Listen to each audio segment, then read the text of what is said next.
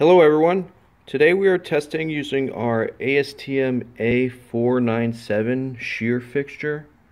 So this shear fixture is used to do tensile testing on cross sections of welded wire. So you can see my sample here, it's welded. So this type of material would be used as rebar inside of concrete. It can also be used for fencing. So this shear fixture is our adjustable fixture.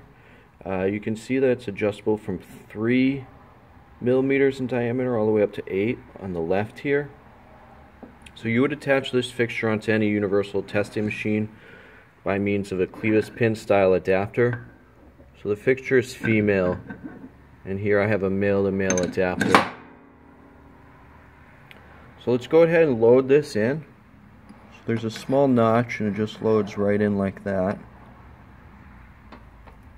and then we can go ahead and install our sample.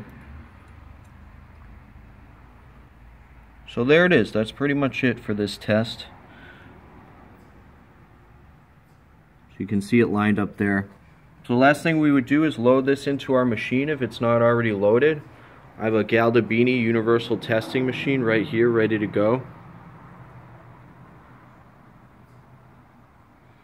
And the only other thing I would recommend on this is probably some wedge grips with V inserts to pull that cylindrical rod-like sample from the bottom there. So again, this is our ASTM A497 shear fixture.